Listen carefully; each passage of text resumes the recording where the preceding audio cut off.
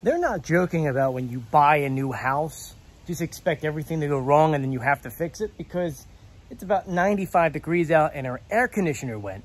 And the repairmen, of course, they're super busy, not knocking them, but um, looks like we're fixing some things on our own. So um, join me. Before we get started, make sure you subscribe, turn on notifications, and give this video a thumbs up. Let's get started. So this actually started happening prior to this event house wasn't getting cool. I mean, the vents weren't blowing whatsoever, and you probably have the same problem, which is why you're watching this video.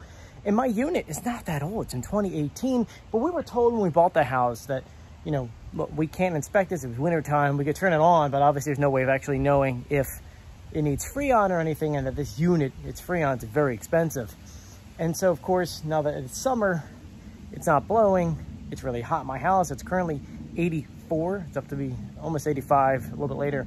And so um, we went outside and saw that our unit was completely frozen. By unit, I'm talking about this bad boy right here. It's not frozen right now, but essentially that pipe coming in was all ice and then everything inside here, it's hard to see at this very second, was also all ice.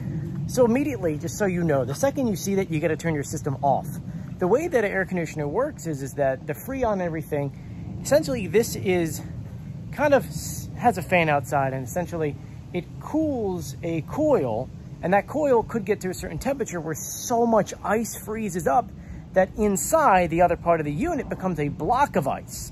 And so air's trying to get through that ice, but it cannot because the coils are completely frozen, literally with water on them from condensation. And so then you're not getting any airflow. So the first thing is to turn it off and let it sit. It could be one, two, three, eight, 12 hours to get that block of ice to completely thaw. And yes, that means you're gonna have water in your basement or near your unit inside, but you need to thaw inside and outside. Now it rained over here yesterday, so this thawed out here pretty quickly, but inside we've gotten roughly about five gallons of water, which by my calculation should be enough of water out, which means the ice is completely thawed. Let me go inside and show you what that looks like because you may not realize that this is actually a two-piece unit. We are in my basement now, and uh, obviously you can see things are apart, but essentially that unit outside, for those you who don't know, connects here. You can see the coil coming in and going back out and runs down this way. Yesterday, this was a block of ice in here. And so what did I have to do is shut this off, leave the fan on, let it spin for a while, but as it's defrosting, the water was going everywhere. I mean, it was a flood down here. A little bit of water left, not too much. Um, but this whole bucket was filled to about here earlier. And then this is the leftover after being shut off for a few more hours. So a couple gallons of water. And um, I just have this down here because there's still a little bit coming out. And you can, actually, this one's not as drenched as it was before. See, actually nothing's coming out of here really, which tells me that this is completely completely out of ice. When you touch it, it's really not that cold. The, the temperature down here, it's the same temperature as this one here, which tells me once again, this is probably defrosted enough. The main goal at this time is not to get 100% fixed because we don't have the Freon. It's just to defrost this enough so that I can kick it back on, let it run for a little bit while it's still 90 something degrees out. Look at the condensation here. It's still very cold inside, but luckily there is no water coming out here. Probably something I should have said at the beginning of the video. Don't ever do anything to your unit until you disconnect the power. We have a switch on the side, so I have it off here, and I have it off at the breaker. Anyway, let's go outside and spray down the unit. So while that is thawing, I let this sit for overnight, and now I need to clean it out. It is filled with disgusting stuff. Well, it was. I just cleaned it out right now. So here's some photos of what it used to look like. Then after I kind of scraped it out, I cleaned out all the debris on the outside because that could also be sucking things in. And now, it doesn't look 100%. You need a degreaser, and so we're going to degrease it in a second. But at least let me show you what it looks like. Here's those corners again. There is some stuff still down there, but it's it's really not as bad. The degreaser is going to knock out a lot of this stuff. Like there's stuff on here that I obviously need the degreaser for. Inside, there's still some muck, but I need the degreaser in here to really do its job because there's stuff everywhere in here. So let's go ahead and spray this down. I'm using LA's Fantastic. I do have to tell you, they have to dilute the solution. So I think for this solution, we're doing a, uh, a one to 10. So one LAs and the rest water. So let's, uh, we're gonna pump this up and then um, get spraying. And you really wanna get yourself a really good sprayer and then let it sit for about five to 10 minutes.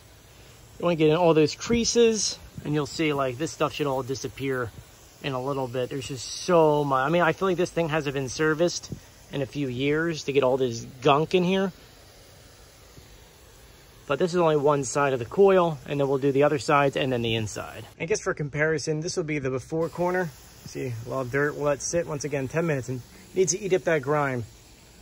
We're doing the outside. I mean, obviously up here really doesn't mean much. It's really the inside, but we'll, we'll knock it all out. Now that it's sat for a while, it's time to clean it off. And I kind of did a little streak to see if the degreaser worked. And uh, yeah, it's gonna be uh, very nice once we hit it with the hose. All right. We're probably gonna scrub this a little bit just to get it off. But um, here goes nothing. So here we are. It is quote unquote clean because there's only so much you could do with this, but you could tell, I mean, all the muck is gone. I'll let it dry for a little bit. You see the fans are all clean inside. Million times better. Obviously there's still some stuff, you can't get it all out. Same thing with here. Can't get all this out, but I got most of it. And this thing was covered all the way to the top. So now I'm gonna put this, put this back on and put the screws in and then turn it on. I just wanna add in that every video I see online, it's always one guy doing this. You need two people because that fan, it needs to be held in a certain way because not you could break something. And so you need one person to hold the fan as you're vacuuming, shop vacuum, because I was in there doing that, and then cleaning on the inside and spraying it. So definitely two people. I mean, you probably could get away with one. I mean, I'm doing it with one, but try to get two. The cover is back on. I'm gonna screw them back in, but I have to say, I want a power washing just the base of it, just to get it cleaned a little bit since I'm never really back here and now it's completely now. I mean, I got rid of all this junk back here. It's a couple of them still left, but you wanna make sure all this is clean before you put this all back together because you, you don't want to do this again. Which you should do with spring maintenance every year. You honestly should.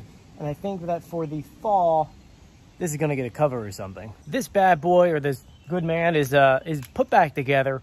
Before I turn it on, I'm going to let it dry a little bit, then run the fan. Remember, the power is completely disconnected right now. So um, mostly do that because I don't want to get electrocuted doing touching these things. Let it dry for a little bit. Sun should be coming out.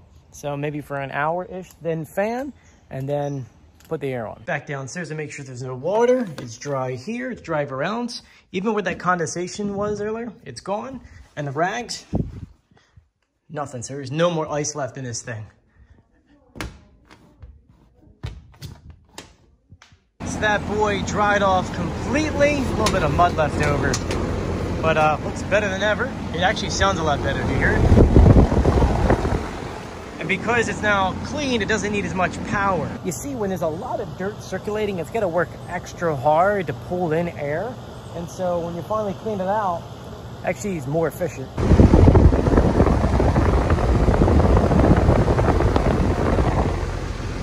Everything looks good so far. This is gonna start getting cold. You actually can see the condensation. I don't know if you can see that on there already.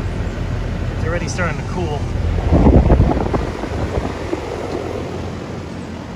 Now, weirdly enough, I don't know why this is the thing with the Nest, but you just can't have the fan on. You have to have the air conditioning on and then the fan. So I have the fan with the air conditioner both on at the same time. And of course, I want to clean this up before I put everything away. And like that, we are good to go. But I want to thank you guys for joining me. If you haven't done so yet, please subscribe, turn on notifications, and give this video a thumbs up. It's so nice to finally have air again. Anyway, see you later. Bye.